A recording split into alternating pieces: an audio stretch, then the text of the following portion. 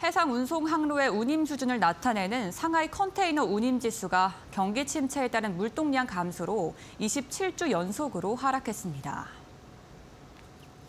컨테이너 운송 15개 항로의 운임을 종합한 상하이 컨테이너 운임 지수는 23일 전주 대비 16.20포인트 내린 1107.09를 기록했습니다. 이는 27주째 하락세로 지수는 또다시 연중 최저치를 갈아치웠습니다. 또 지난해 같은 날과 비교하면 5분의 1 수준으로 하락폭만 78%에 달합니다. 해상 운임 하락은 국내 최대 컨테이너 선사인 HMM의 실적에도 영향을 미칠 것으로 보입니다.